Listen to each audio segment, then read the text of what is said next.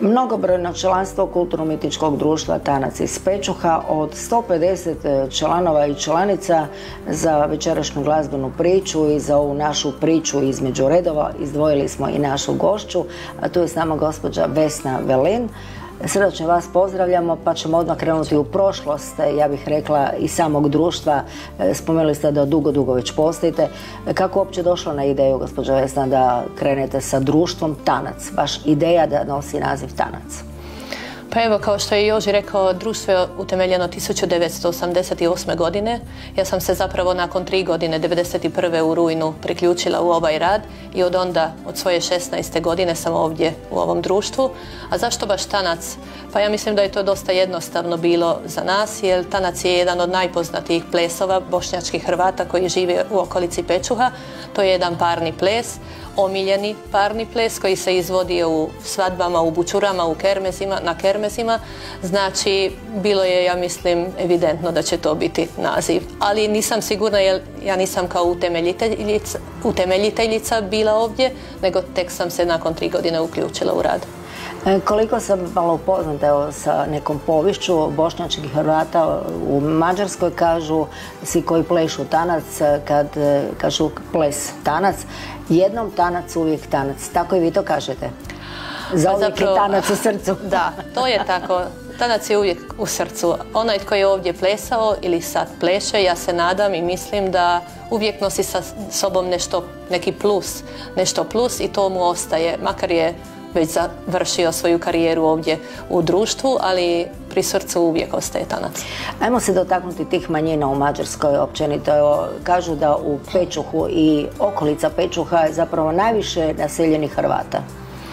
Da, zapravo je, ali u Mađarskoj ako gledamo onda u mm, povjesničari smatraju kao ima sedam skupina, sedam povećih skupina. To su, ako gledamo redom, gradišćanski Hrvati na zapadu Mađarske, u pomorski Hrvati u županiji Zala, sad ja dolazim sa zapada prema jugu, onda navodimo podravske Hrvate iz Podravine, oni se mogu smatrati i makar autohtonima jer e, za vrijeme onih turskih najezda tamo je bio močvarni dio od Drave i vjerojatno su i neki Slaveni koji su se ovdje doselili ostali ovdje. Znači mogu biti i autohtoni.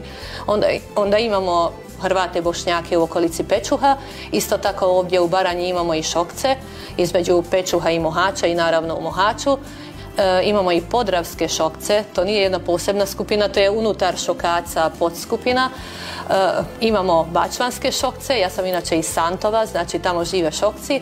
U Bačkoj žive bunjevci, a isto tako u Bačkoj u okolici Kalače i Bačina, Dušnoka, tamo žive Hrvati Raci. I to je, nadam se da sam nabrojila sve sedam skupina jedno veliko hrvatsko bogatstvo u Mađarskoj. Da, je. Ja mislim da je jedno jako veliko hrvatsko bogatstvo. Ja uvijek smatram kao da smo jedna velika, jedno veliko drvo i koje niče iz jednog korijena i ima puno grana, a to je ono sedam, osam, svejedno kako nazivamo podskupine ili veće skupine, to su one grane i zato je to šaroliko. Znakovita brojka sedam, kad govorimo da uđemo sad i nekako malo i u taj duhovni svijet, ali nećemo se to dotaknuti, mhm. jer ipak brojka sedam puno znači općenito, pa evo sad se to nekako sve Bogom dano posložilo. Da, sad kako ste rekli, nikad nisam pomišljala na to, ali imate pravo. Mislim, ja to tako živim, mhm, pa mhm. uvijek se me sad dotaknuli. E, no, idemo mi dalje u razgovoru, malo ćemo sad popričati o tim vašim koreografijama. E, sedam skupina, osam, devet, na kraju krajeva imate ne samo plesovi iz Hrvatske, nego su tu i mađarski plesovi. E, malo šećete i dalje po drugim državama. Da li za sve te plesne korake, za te sve plesne momente koje pripremate, nastupe, imate određene koreografije, specifične. Pa većinom imamo koreografije Hrvata iz Mađarske, ali ste naveli naravno, imali smo mi učitelje iz Hrvatske, znači imamo mi plesove koreografije iz Hrvatske, hrvatske plesove iz Hrvatske, ali ipak je ono što je naše, mhm. mislim ono je odavdje. To je to. Idemo sad uživati dalje u glazbi.